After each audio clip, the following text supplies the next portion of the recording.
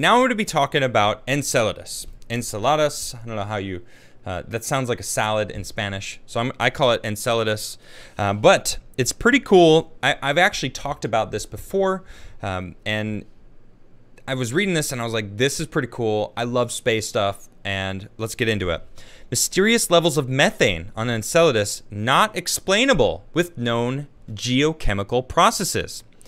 We recently devoted an article on Jupiter's four largest moons explaining why are uh, they among the most exciting worlds of our solar system. Jupiter has some steep competition from Saturn in this area, though, and one of them has just got a lot more interesting. Uh, interesting. We're talking about Saturn's sixth largest moon, Enceladus, a mysterious process hidden a, uh, in a potential subsurface ocean. uh, subsurface ocean deep underneath its icy shell produces lots of methane that cannot be accounted for with known geochemical processes. So, is some form of life responsible for all this methane? According to a new study published in Nature, it cannot be ruled out. And here, of course, is a picture of Enceladus. Being one of Saturn's 82 moons, it isn't easy to stand out. Not so for Enceladus, though. Not only is it almost entirely covered with fresh, clean ice, making it one of the most reflective bodies in the entire solar system. It also produces giant water plumes containing methane with a mysterious origin. In recent decades, studies have shown uh, that beneath the icy surface of the seemingly inhospitable moon, there is an ocean, which contains um, conditions may be favorable for the emergence and maintenance of life. Obviously, this potential subsurface ocean has caught the attention of many researchers. Now, this is what I, I've talked about before. Mm, do they really exist? And if they do, wouldn't it make sense that we could assume that there could be some sort of life down there? Uh, we don't really know. Uh, one of the main instruments astronomers have at their disposal to study Enceladus is the Cassini spacecraft. On a mission where it flew through the moon's vast water plumes, sampling their chemical makeup, it identified a relatively high concentration of specific molecules associated with hydrothermal vents at the bottom of Earth's oceans, respectively, dihydrogen, methane, and carbon dioxide. The quantity of methane detected in the plumes was unexpected.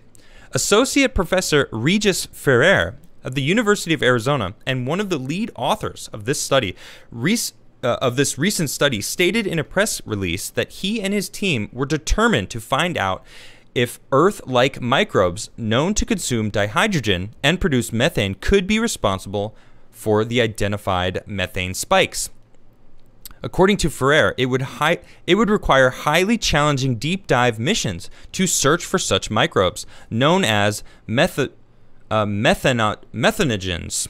Missions like that are sadly not in sight for several decades and would have to overcome many challenges. So Ferrière and his colleagues decided on taking a different route within our current capabilities.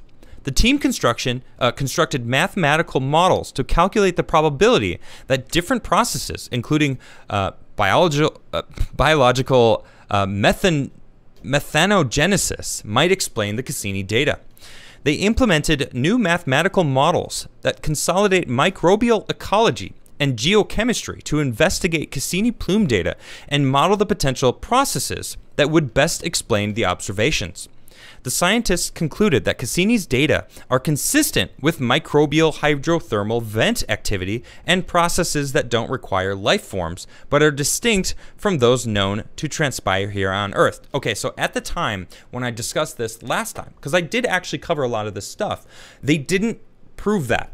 So now they're concluding that Cassini's data, uh, data is consistent with the microbial hydrothermal vents. So I actually talked about that, saying it makes sense that there are uh, the, these vents down at the bottom, but now they're saying there's no other explanation. Now, there's amazing bacteria and shrimps and life that lives and feeds and gets its energy from these vents down at the bottom of our oceans, not from the sun, but from the vent itself. So it's safe to assume that there is life living in these subsurface oceans in, in, in Enceladus.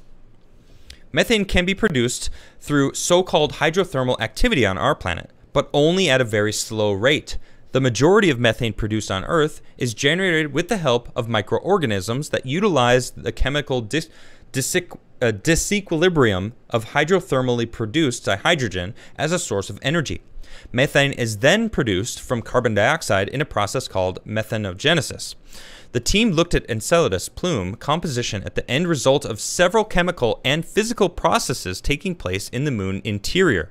Now, here is an image from Cassini showing these plumes. You can see them there. Uh, first, the researchers estimated what hydrothermal production of dihydrogen would best fit Cassini's observations, and if this production could produce enough food to support a population of Earth like hydro, um, methogens. Methanogens, excuse me. Uh, to do that, they constructed a model for the population dynamics of a theoretical hydrogentropic metho- methanogen. Oh, tongue twisters um, whose thermal and energetic niche was modeled after familiar strains we encounter here on Earth.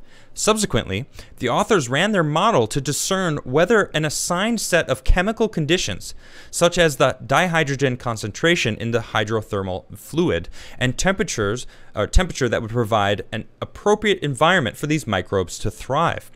The team also studied what impact a theoretical microbe population would have on its surroundings, for example, on the escape rates of dihydrogen and methane in the plume.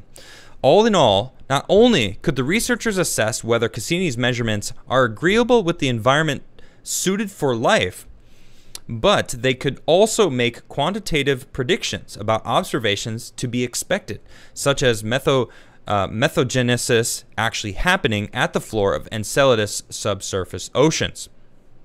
The results suggest that even the highest possible estimate of abiotic methane production or methane production without biological aid based on known hydrothermal chemistry is far from sufficient to explain the methane concentration measured in the plumes. Adding biological methogenesis to the mix, however, could produce enough methane to match Cassini's observations. Here's a quote uh, from Ferrière. Obviously, we are not concluding that life exists in Enceladus's oceans. Rather, we want to understand how likely it would be that Enceladus hydrothermal vents could be habitable to Earth-like microorganisms. Uh, very likely, the Cassini data, data tell us, according to our models the biological methogenesis appears to be compatible with the data. In other words, we can't discard a life hypothesis as highly improbable. To reject the life hypothesis, we need more data from future missions.